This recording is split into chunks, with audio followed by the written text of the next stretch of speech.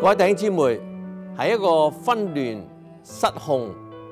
同埋腐敗嘅時代，感謝神，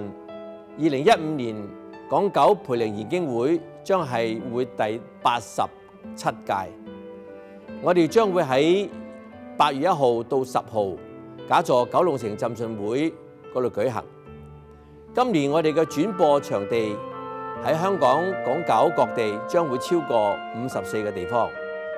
其中九間係學校。我哋感謝神喺海外，我哋會有十幾個轉播點。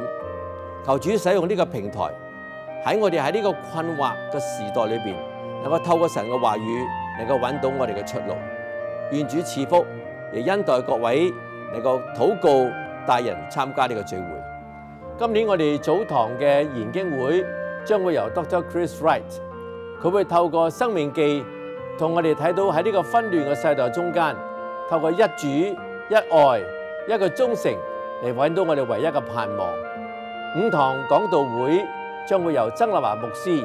佢會用以賽亞書第四十章到四十八章，